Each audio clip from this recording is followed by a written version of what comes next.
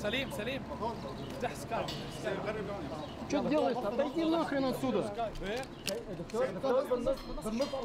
We consider what happened today, meaning the meaningful discussions we have had with Mr. de Mistura, the special envoy, an introduction, an important introduction to discuss this file, meaning combating terrorism.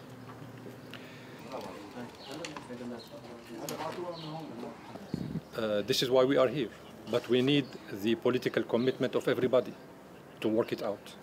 You cannot put an end to the war only by yourself.